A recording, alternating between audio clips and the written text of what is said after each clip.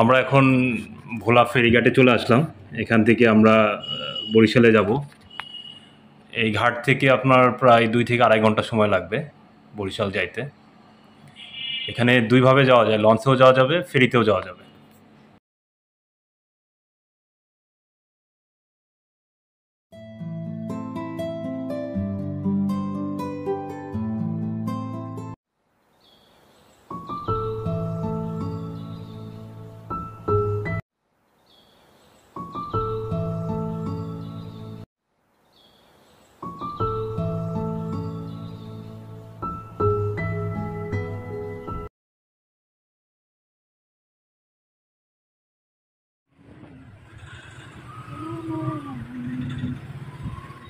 আমরা এইমাত্র লাহোরঘাটে এসে পৌঁছাইলাম।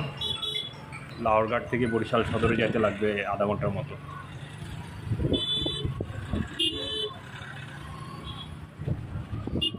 কেউ যদি ভোলার থেকে বরিশাল যাইতে চান, খুব সহজে আসতে পারবেন লঞ্চ অথবা ফেরির মাধ্যমে। আমি যেহেতু বাইক নিয়ে গেছি, সেজন্য ফেরিতেই আসছি। আর যদি বৃষ্টি বা ঝড় হয়, আবহাওয়া যদি খারাপ থাকে, সেক্ষেত্রে লঞ্চে না আসাই ভালো।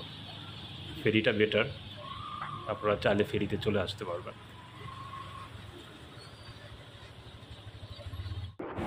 এইমাত্র আমরা বরিশাল শহরের ভিতরে ঢুকে গেছি। সকালবেলা এই শহরটা একটু ঠান্ডা পরিবেশের মধ্যে আছে। রাত্রে অনেক বৃষ্টি হয়েছে।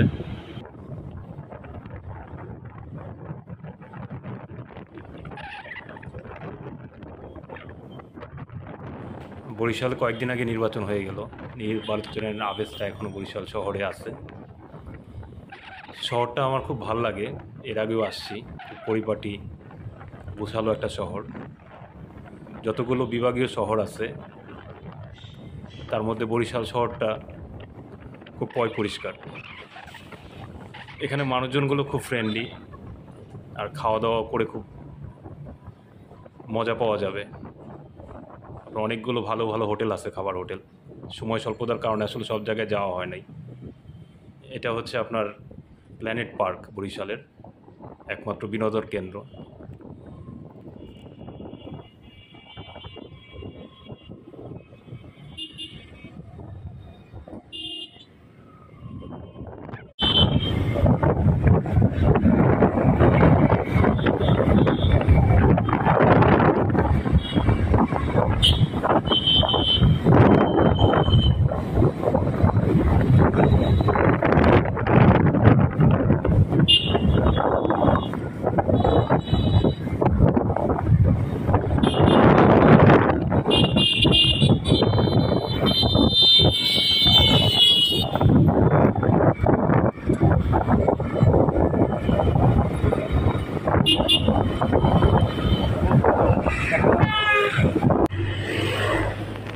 আগেই এখানে একটা দুর্ঘটনা ঘটে গেছে। তেমন কেউ হতাহত হয় নাই, মারাও যায় নাই।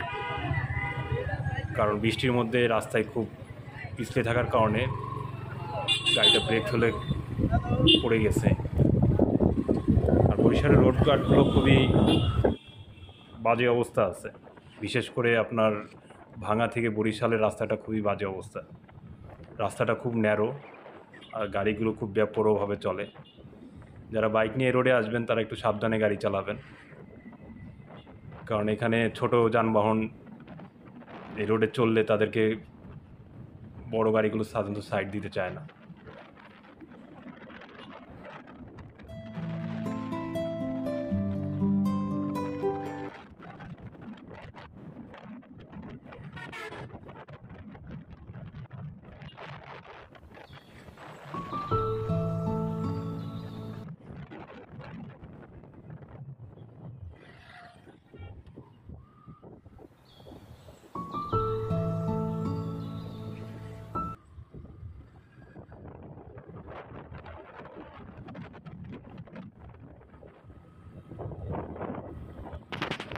আমরা বরিশাল থেকে প্রায় ভাঙা আসতে প্রায় দেড় ঘণ্টার মতো লাগছে, এক ঘণ্টা চল্লিশ মিনিট লাগছে।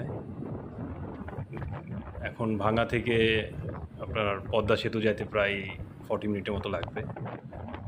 আমি ধীরে ধীরে আসছি, কারণ কালকে সারা রাত জার্নি করার পরে